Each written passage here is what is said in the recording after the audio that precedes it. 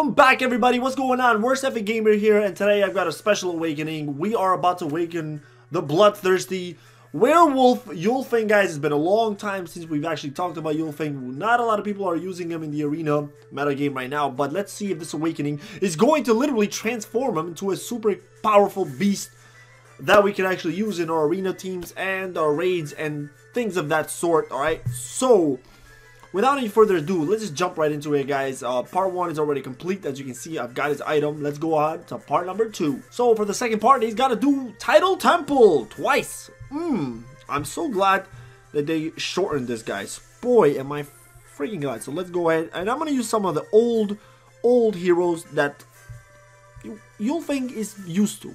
You know what I'm saying? He's not used to all these newer heroes that have been dropped. He's used to these crappy heroes. Oh, Ember. Bam.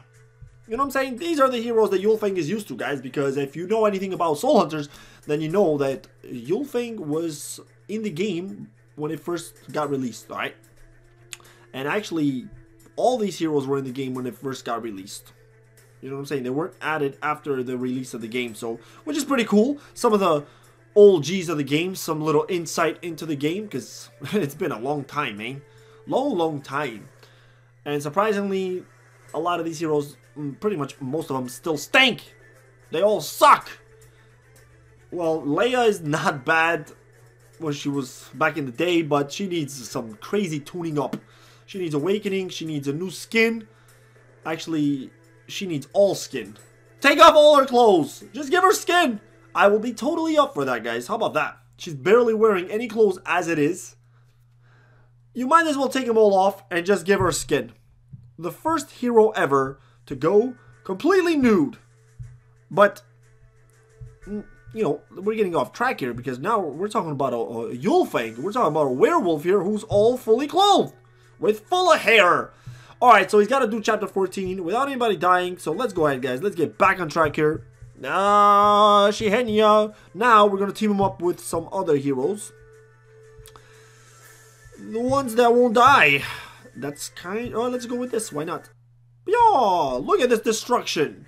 I will probably ah easy prey. I will probably get through these guys without even taking one hit. Look at this. The shield is still up. Uh, destruction without even before the shield is even down. How easy is this? I'll tear them to pieces. Go ahead, you little thing. Do your thing. Thingy me jiggy. Boom. Done deal. Slap your fingers. It's over. Fools, your time is up. Let's go. Boom. My awakening is finally complete. Yo, that's crazy how he knows that he's about to be awakened. Uh, talk about confidence or whatever that's called. Talking in third person. Here we go! Let's go, guys! Transformation! All right. Uh, what? Uh, okay, that just seems like 1,000 years have passed. So this is Ulfang a thousand years later, guys. He's literally got white hair.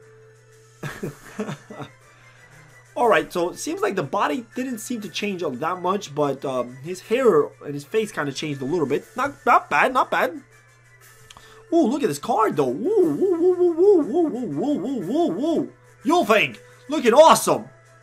Oh, I love that. And for some reason, he's really mad at the birds flying up above. he wants to jump up there and eat all the birds. He's starving. Somebody give him some food. Yeah, so take a look, guys. What do you guys think? What do you guys think about this transformation, guys?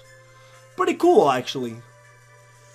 I like it. Like I said before, to me, it just seems like he's older. He just got like he went from being in his in his mid twenties to his late nineties. All right, here we go. What is your uh, Wolf's Rage here? This is a awakened ability here, guys. Allies who are affected by control abilities gain additional physical and magic armor. Hmm. In addition, each time an allied unit is affected by a control ability, Ulfang increases his physical attack for the duration of the wave. Can only be triggered once. Alright, so that seems pretty cool, guys. At level 1, alright, let's let's go ahead. Let's put 20 on this right now. 20 right there. And, uh, let's see, 150.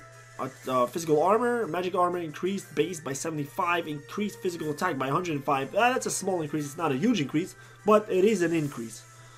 Okay, mm, now let's go ahead guys and uh, first thing first I want to let me see if I can give him anything physical attack bam let's give that to him physical attack oh more physical attack physical crit why not it's purple it's not you know legendary but it's it's all good we'll take it we'll take it let's go on to the next part Alright guys, so first things first, I went ahead and I enchanted his item right there, so it got a nice little boost, so everything is all enchanted now. So it's good to go on all encha enchantments. Let's head over to the forge. Alright, now it's time to forge a little bit here, so 20 times, let's go ahead real quickly, just get this out of the way. His uh, Heroic Academy is already done, Forge is started right now, all enchantments are done. Only thing left to do now, guys, is take him into a battle and destroy our opponent. So let's go ahead, let's jump into a battle right now and let's see what this guy can do in a battle. Let's literally jump right into this battle, guys, and that's what Ulfang does, uh, if you slow it down right now. This is his second ability, guys, Thrill of the Hunt. Increases physical and magic attack as well as attack speed of all of your allies, alright? So, this is a pretty cool ability that he has. As soon as the battle starts, he's going to jump right inside and gives haste to your whole team. So a very nice second ability that he starts off with. And then, alright, I want to slow it down right here, guys, because this is how I'm going to break down his awakened ability. So Wolf's range, uh, Rage, as we talked about, is his awakened abilities. All allies who are affected by a control ability will gain physical and magic armor. So as you can see there, uh, who is it? He's stunned, as you can see. He's stunned. And I'm pretty sure Batman is also stunned. And maybe Petros. I can't tell if Petros is, but I can see Batman is definitely stunned. They automatically get uh, physical armor and magic armor boost, right? So that's one of his abilities for his awakening. On top of that, Ulfang is going to get a uh, physical attack increase for every time an ally is been stunned. So as you can see, he's also going to get a physical armor increase. So, but you can only get that for two times. All right, guys. So that's kind of how it works throughout the battle. Uh, as long as uh, your you know your ally has been stunned, they're going to get a physical and an uh, and a magic increase, an armor increase, but he can only get a physical attack increase. This we're talking about Ulfang now, only twice per battle. So check it out. As you can see there, they get stunned. He gets his attack, uh, you know, increase and they get their physical and magic armor increase. Now this can go on throughout the whole battle, guys. The only thing that's only twice is the increase in physical attack of Ulfang. That's the only thing that uh, can only be twice. The rest of it, so as you can see here, another stun, physical armor going up. You can see that. So anytime they get stunned, physical armor going up, and his physical attack is going up more physical attack going up. All right, now now is his third ability. He's going into uh, it's called Chilling Howl. As you can see, deals AOE physical damage as well as reduces enemy armor. So he's reducing the armor. He's increasing your magic and physical armor so far, and he's giving your team a haste. Uh, that's pretty good support. So far, so good. Well, Ulfang you're doing your thing, thingamajiggy. Now, as you can see, his health is pretty low, guys. He's taking a bit of damage there in the front. Uh, if you don't have some other heroes in front of him to protect him, you're going to be in trouble. But if you do have heroes who can protect them, I'm thinking Valan maybe, possibly. Uh, there's some possibilities that can go in front of him. He is giving your team a pretty good boost right away, as you can see that. Alright, now uh, this is his fourth ability, guys. Prow Prowess of the Wolf.